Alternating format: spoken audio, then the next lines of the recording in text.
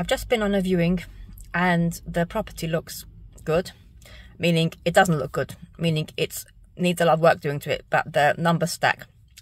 So for all those new Academy members, or not so new Academy members, let me tell you this. I've been on the Academy for one and a half years. So you would think by now I would have whole streets in my name and like loads of SAs and loads of HMOs. No, I don't. But what I do have is knowledge.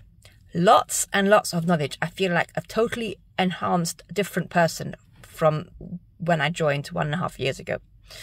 And I'm still, I've still got my business. I'm still an ADHD coach because that's bringing in the fast cash. And I want to help people.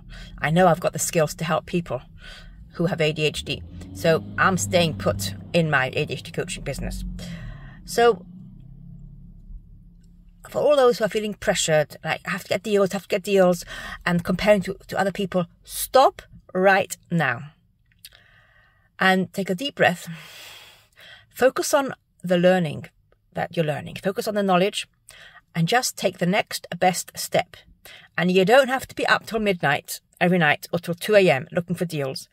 No, because you just need to take inspired action.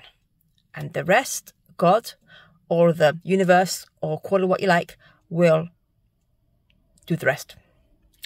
So that's me in a nutshell. Just relax and trust in God that things are going to work out. You do your best and then move on to the next step. And focus on the lessons, the knowledge, the wisdom that you're learning. That is priceless.